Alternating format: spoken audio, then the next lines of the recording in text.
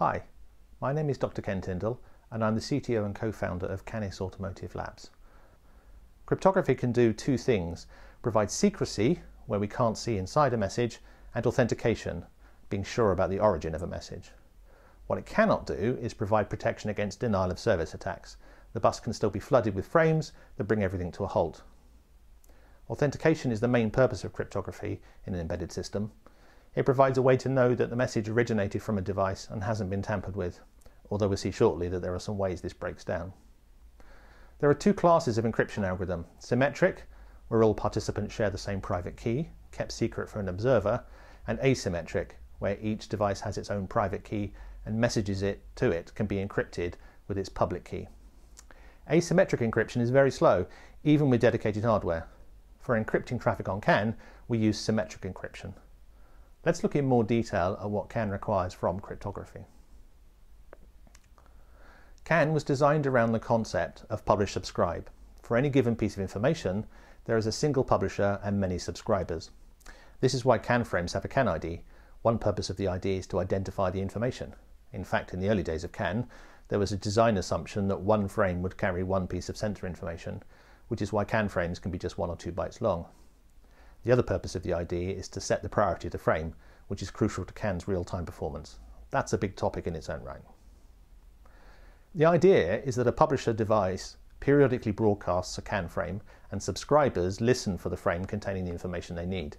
A subscriber can jump in any time and pick up the latest information. This is important. If a device goes through a watchdog timer restart, it must be up and running quickly. There's simply no time to negotiate a connection to every publisher of information needed and to negotiate keys. This means two things. Firstly, the keys must be pre-distributed to all subscribers, and this must be secure. The keys must be kept secret so that software on the device cannot see them. Otherwise, if the device is hijacked by malware, then it can just read the keys out. Secondly, the communication scheme must be random access. There should be no requirement to have all the previous messages received in order to decode the latest one. This sounds obvious, but quite a few encryption schemes only work point to point, where both ends have been present from the beginning of a session. That's okay for opening a web page in a browser, but not in a distributed real-time embedded control system. In fact, this is a general problem with trying to adapt mainstream computing solutions. It's a completely different domain, and those solutions often don't work. One final requirement to note, and this goes for any crypto application, don't roll your own. Stick to standards. To quote Bruce Schneier, security has nothing to do with functionality. A cryptography product can function normally and be completely insecure.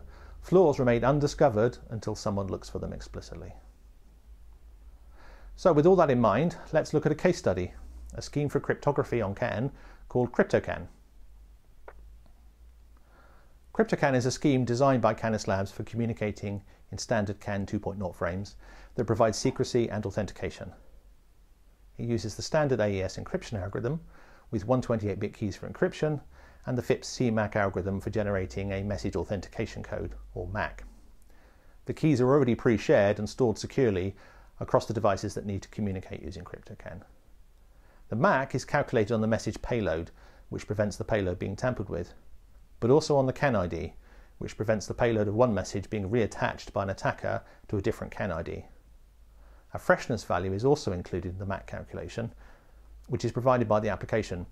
This could be a sequence number that is known by the publisher and all the subscribers, or a timestamp kept in sync with a central time broadcaster.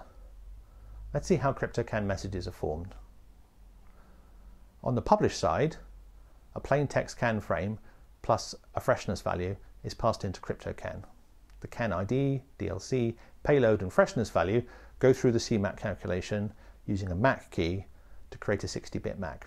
The CAN payload, DLC and MAC add up to 128 bits. This makes up an AES block that is encrypted using the cipher feedback or CFB mode. Cipher feedback uses the previous ciphertext and encrypts it. To start the process, a random 128-bit number called an initialization vector, or IV, is used. This is encrypted with the encryption key and then exclusively ORed with the plaintext message block, including that MAC. This creates a ciphertext of 128 bits, or 16 bytes. This is split into two CAN frames, each with 8-byte payloads. The original CAN ID is used for the first frame, and the second frame uses the same CAN ID with one of the bits set to 1, so that the first frame has a higher priority and is sent first. For J1939, this ID encryption bit is the least significant bit of the priority field. The process repeats for each transmission of the CAN frame, and each time the ciphertext is fed back to generate the next block. On a subscriber side, the reverse operation takes place. The IV doesn't exist for the first message, so the first message received cannot be decrypted. Instead, the ciphertext is used to set the IV, and then the message is discarded. This means with CryptoCAN, the first message after a receiver starts is always lost. If this is a problem, for example with sporadic messages that are not repeated periodically, then the message can simply be sent twice. The decrypted MAC is verified by repeating the same calculation as the sender on the same values, payload, DLC, CAN ID, and freshness value. If the calculated MAC and received MAC match, then the frame is valid and the payload can be used. CryptoCAN is designed to be implemented using a hardware security module, or HSM, and in particular, the one designed for automotive applications called Secure Hardware Extensions, SHE. SHE was created some years ago by the German automotive industry, and it's reasonably common in microcontrollers for the industry. It meets the requirements for CAN encryption we talked about and implements AES with 128-bit keys and the FIPS CMAC algorithm for message authentication. It also stores keys securely in a walled-off part of non-volatile memory. Keys can be reprogrammed using a secure load key algorithm, using a master key, with new key values encrypted and authenticated in such a way that no eavesdropper can see what the new keys are or tamper with them. SHE can also be used for secure firmware booting. The HSM stores a dedicated boot key and an expected MAC. When a bootloader runs hacked firmware through the HSM with a key, then the calculated MAC will not match the HSM stored MAC and the bootloader can refuse to run the firmware. An SHE HSM also includes a unique 128-bit factory program serial number and a cryptographically secure pseudo-random number generator, or CSPRNG. And there are permissions that are programmed with each key. If it is write-only, disabled when the debugger is connected, disabled on boot failure, and whether it's used either for encryption or for calculating a MAC. There are a minimum of three and a maximum of 17 user keys in the secure storage for keys, this turns out to be a problem. Any symmetric cryptographic scheme, including CryptoCAN, requires a pair of keys, one for authentication and one for encryption. Because SHE specifies only a minimum of three user keys, in practice this means that a single bus segment needs to use the same key pair for all encrypted traffic. If there are multiple bus segments and they're to use different keys, then the gateway must use an HSM that has at least a pair per segment and perform decryption and re-encryption as the messages pass through. In this case, messages are not secured end to end, and that makes the gateway a particular target for attack, as, as it's the place that can tamper with messages on the way through. There's another weakness. If a device with an SHE SHM gets hijacked, then the malware can create CAN spoof frames and ask the HSM to create the authentication code. It can do that for any frame where it has the key that the sender uses. If there's just a single pair of keys for a whole bus segment, then that's any sender.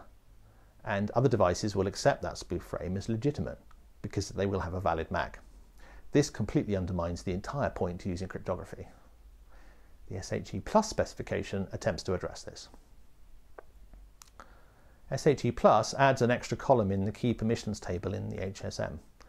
It's for MAC creation. Only the transmitter of the message can be allowed to generate a MAC with that key. Everyone else can only verify a received MAC with the key. This would normally fix the gaping hole, except for the problem of limited keys. Even if the HSM stores the maximum 17 user keys, then this is only a maximum of 16 unique authenticated senders per CAN bus segment. There's a further problem with cryptographic systems, replay attacks. Replay attacks are a problem because an attacker can capture CAN traffic and resend it later. The attacker can easily guess what the message does, and it would be very straightforward to collect a suite of useful messages like unlock the doors or switch off the engine. The receivers will sync to replayed messages, decode and validate them. After all, they were authentic when they were sent, and then use them. The conventional solution to this is to include a sequence number or timestamp, something that changes and can be used to detect stale messages. That's why the AUTOSAR standard calls it a freshness value. CryptoCAN includes a freshness value in the MAC calculation. In practice, Checking freshness is quite tricky to do reliably. For example, what should the sequence number be if a sender has just reset itself? How do receivers know the number has changed? If there's a message to say sender has reset the freshness value, then what happens if the message is replayed too? Timestamps are also tricky. Every device needs to run on a shared view of time for this to work, and they have to be synchronized by a central clock. What if those broadcasts are replayed? There are solutions to these problems, but they add more complexity and add to the edge cases where the system can fail to communicate. Addressing the security problem creates a reliability problem.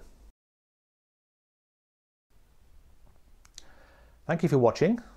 You can find out more about these topics from my blog site, kentindell.github.io, and you can contact me by email at ken.tindell at canislabs.com.